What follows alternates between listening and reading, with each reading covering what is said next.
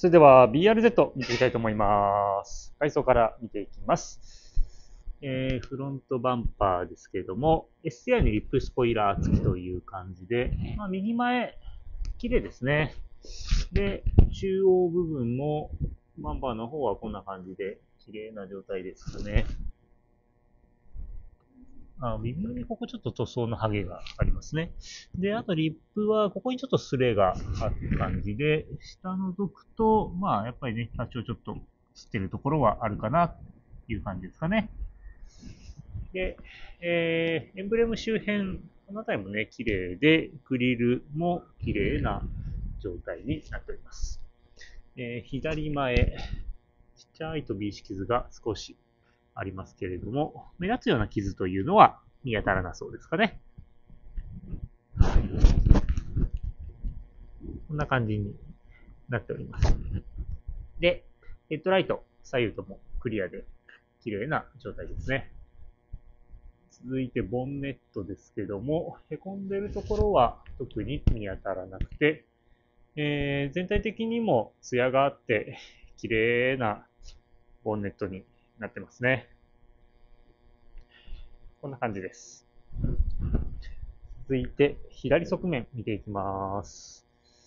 えー、まずは左フロントのフェンダー周りからですね。綺麗ですね。で、レイズのホイール装着しておりまして、えー、このリムのところですね、これガリ傷ってわけじゃないですけど、なんか、なんですかね、タイヤを組み替えた時のなんかこのね、タイヤのこの跡みたいなこうゴムっぽいのがね、ちょっとこう、ついてるんですよね。こんな感じです。タイヤのサイズは225の35の19インチという感じ。結構ね、大きいタイヤがついてますね。で、水の方はね、まあ残っております。で、ドアミラーは薄い線傷があるぐらいですね。えー、そして助手席側のドア。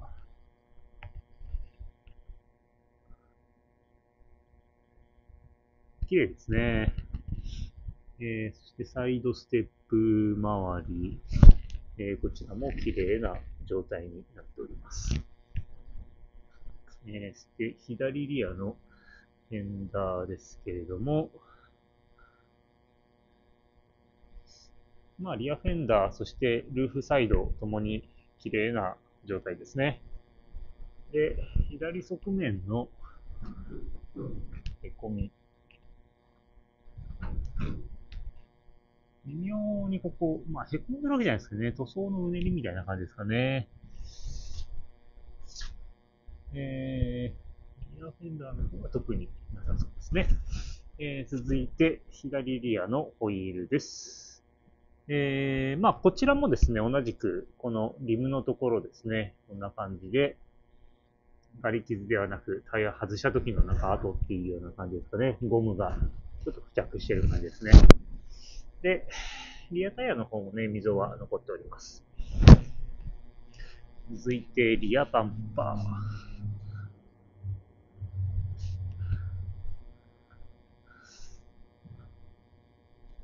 綺麗な感じですね。こんな感じで、特に気になる傷は見当たらなそうですかね。うん、綺麗ですね。えー、そしてトランク。こちらも傷、へこみなどは特に見当たらなそうですね。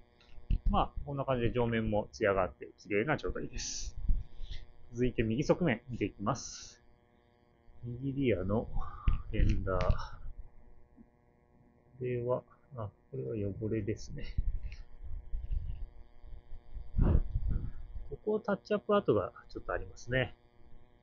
で、ルーフサイドの方は綺麗な状態です。そして右リアのホイールです。こちらもリムのところは同じくという感じですかね。まあ、ガリ傷というのはね、なさそうですね。こんな感じになってます。そして、運転席のドア。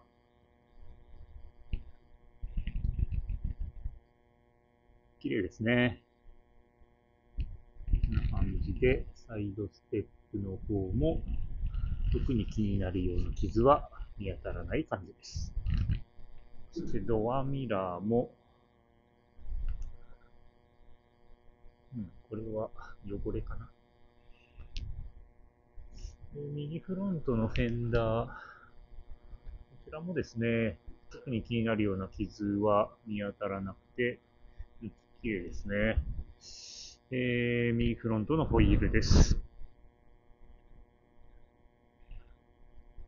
綺麗な感じですかね。まあ、4輪ともこのゴムの跡を取ってあげたら綺麗ですね。で、えー、右側面のへこみですけれども、特に見当たらなそうです。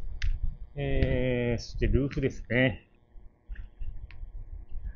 ルーフの方も、飛んでるところはなさそうですね。で、まあ、傷もなく、綺麗な感じですね。はい。では続いて内装を見ていきます。えー、運転席のドアトリム周りですけれども、えー、乗り降りの時にね、結構足当たっちゃったかなっていう、ここのちょっとね、跡が結構ついてますね。あとは、この辺りも、なんかちょっとね、つったような感じの跡がついてますね。スカーフプレート周りはこんな感じになってます。えー、フロアマットは、綺麗ですね。えー、して、純正のシート。この辺のスレはね、ないんですけども、ここがちょっとね、ほつれてる感じですかね。で、助手席側。こちらは綺麗な状態です。で、車外のね、ステアリングに変わっておりまして、すれは見当たらなそうですね。で、ダッシュボード上は微妙にここに乗り跡があるかなというぐらいで、まあ全体的には綺麗な状態です。ETC かなちょっと貼り付けが落ちてきちゃってますね。これは貼り付けてご納車いたします。で、えー、カロッツェリアのナビが装着されてます。このあたり、シフト周り含め、綺麗な、うん、状態ですね。で、スピンターンノブがついてますね。ドブレーキ周りもね、綺麗ですね。こんな感じになっています。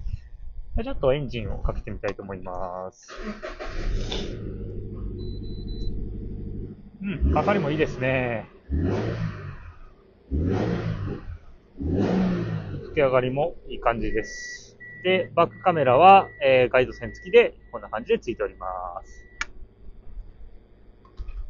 はい。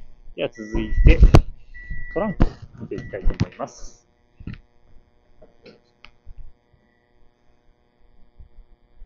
えー、トランクは、トリム類特に、えー、欠品しているところはなく、汚れもね、ほぼ見当たらなそうですね。車載工具の方も、えー、揃っていて、えー、レンチもね、ついてますね。助手席側です。ドアトリム周り。助手席側なんかは綺麗な状態ですかね。こんな感じですね。で、えー、スカフプレートの方も綺麗な状態で、フロアマットもね、綺麗ですね。こんな感じです。で、よいしょ。ちょっとシートの方ですけども、えー、リアの方は、まあ、こちらも綺麗な状態ですね。特に気になるようなところはなさそうですね。はい。こんな感じの内装になっております。では続いてエンジンルーム見ていきます。はい。ではエンジンルーム見ていきたいと思います。えー、まずベルト周りですね。感じで、まあ、特に変な音はね、していないです。で、エンジンの方も特に変な音はしていなく、まあ、エンジンルーム内も結構ね、綺麗な感じですね。まあ、まだね、距離は少ないですから。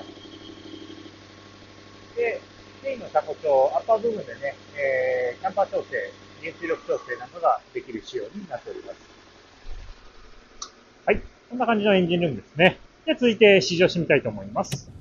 はい、それでは BRZ を試乗してみたいと思います。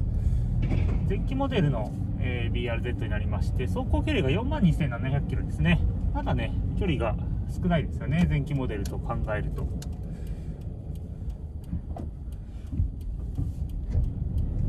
まあ、距離少ないので、クラッチなんかは結構、えー、ペダルも軽いですし、つながりもね、至って普通な感じですね。このステアリングとても握りやすい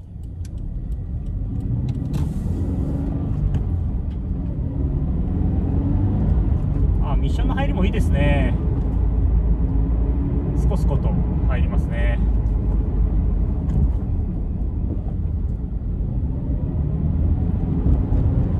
でテインの車庫帳とレイズ19インチのホイールが、えー、装着されている感じでして。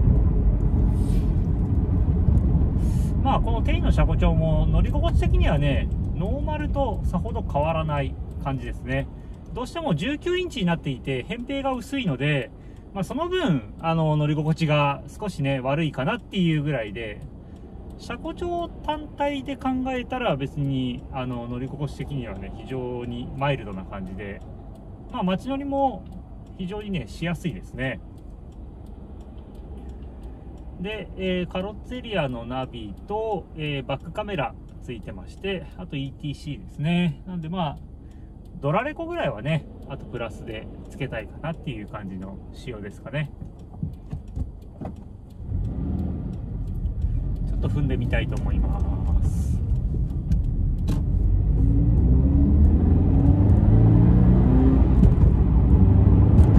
うん、加速も問題ないですね。まあ、19インチ履いてるので、やっぱりちょっとね、こう、低速側は鈍くなるかなっていうところはありますけれども、まあでも全然十分な加速です。で、ブレーキのタッチも特に問題ないですし、まあ今走らせてても特に室内に入ってくるような異音もないですし、なんかガタが出てるっていう感じもないですね。まあ、社外の車庫帳とか入ってるとピロのね型とかがね出てきて、えー、しまうケースもあるんですけど、まあ、特にそういうのもね出てはなさそうですね。うんとても乗りやすい。